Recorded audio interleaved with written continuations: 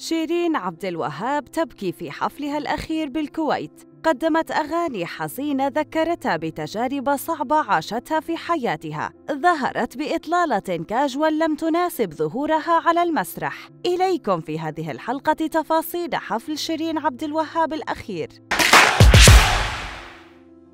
أحيت شيرين عبد الوهاب مؤخراً حفلاً جديداً بدولة الكويت وقدمت خلال الحفل مجموعة من أغانيه الحزينة بناء على طلب الجمهور. وبعد الانتهاء من إحدى الأغاني بكت أثناء تواجدها على المسرح. حاولت شيرين أن تتمالك نفسها سريعاً حتى لا تفسد الحفل. وقالت لجمهورها ليه عاوزين أغنيات حزينة بتفكرني بأيام وحشة. وهو ما فسره البعض بأن علاقتها بحسام كانت سيئة لكنها استطاعت أن تقدم حفلاً ناجحاً كعادتها. ارتدت شيرين في الحفل إطلالة كاجوال لم تناسب طبيعة الحفل فظهرت بسويت شيرت من اللون الأسود وبنطلون جلد أسود. أما شعرها فيبدو أنه أصبح أكثر طولاً لأنها استطاعت تصفيفه بشكل جديد ومختلف. شيرين عبد الوهاب أثارت الجدل مؤخراً بعد ظهورها بوزن زائد ويبدو أنها تمر بحالة نفسية سيئة جعلتها تفقد الشغف للاهتمام بأناقتها. وتوقع بعض متابعيها أنها ستعود لنفس الوزن الذي ظهرت به بعد إنجاب بناتها.